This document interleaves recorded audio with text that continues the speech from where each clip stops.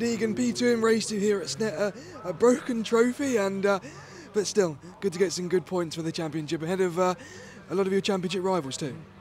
No, it was P3. Um, obviously, starting 11th, it was it was quite interesting.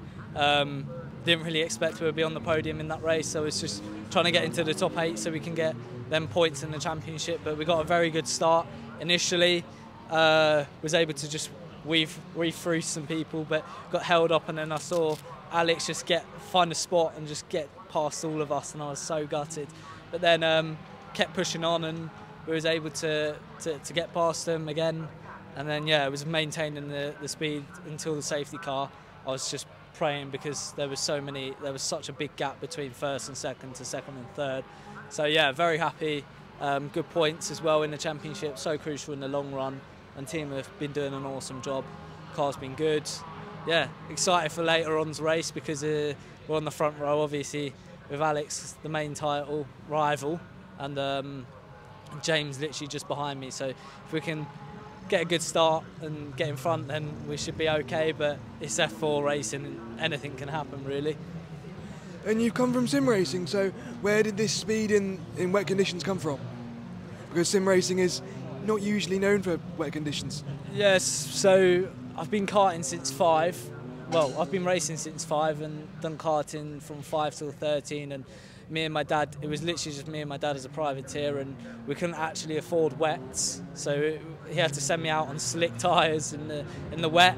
And yeah, that's he just let me do laps and laps and laps. And yeah, initially you, you've got to kind of find the grip and yeah, we got a very old set of wets given to us after someone used them multiple times, and yeah, that was that was the first time using wets and was was quite quick. So the wet is also fun. It it shows you your actual true talent. I, I say eh, as a driver, um, because the fastest car doesn't really matter. It does help in the wet, but um, yeah, you have to really search for the grip as a as a natural natural thing to you. So yeah, I, I enjoy the wet, and if you're scared of the wet, then you end up doing doing bad, and if you if you just get along with it, you end up doing well.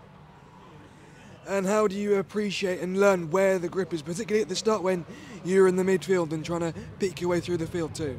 So you've only got that outlet really, but initially you just end up doing all the wet lines, and it, it, it tends to be the best. But it's also getting the, the, the right temperature into the tyres so you can actually push uh, some minimum speed and also when you cross over the, the slippery surface part, which is a racing line, to get on over to the drier part, um, you have to manage to like be progressive with the throttle and um, not not just be keeping it pinned and just drifting and spinning. So yeah, it, it's it's enjoyable and obviously Snetterton's a, a very technical circuit, so you have to really it makes a lot of things interesting. So yeah, really happy. Support from Rocket's also been amazing. So yeah, let's let's keep going and hopefully we can bring that top step home later on. And is there an extra emphasis on protecting the rear tyres here, particularly with the on the heavy traction zones, especially at the final turn? Um, to be honest, if you hit like traction, it's very slippery as you get on the power because you're trying to cross over the, the, the dry like your dry line part, which is the slipperiest. And if you go on to, to an exit curve because they're freshly painted, um, yeah, you end up sliding even more. So you have to really position yourself well, and that, that's where the time's found. And getting the fastest lap, which is another point, is is is good for us. So yeah, happy, and yeah, let's let's see what we can do later. And of course, Alex is. Uh, your nearest rival in the championship. Are you, are you focusing too much on him and the other championship rivals yet? Uh, to be honest, no. My goal is trying to get the most points over a weekend, and that can extend the gap. But we've we've got, I'm not sure. I think it's a 38 point lead, um, which is really good.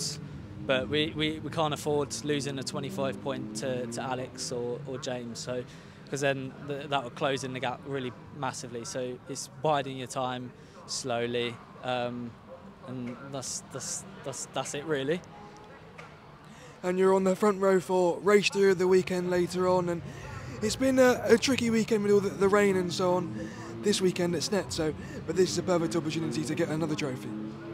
Yes, uh, if we get another trophy, it's nice. But I'm I'm going for that win. Um, there's no excuses really. Um, if we have a tough battle to the end and we get a second, then fair play. But we're, we're I'm 100% going for that win. Um, I, I reckon Alex is also. So yeah, let, us see what we can do. Um, it's F4 racing. Literally anything can happen. Look at Brands Hatch Indy last uh, two weeks two weeks back, last lap, last corner, pretty much.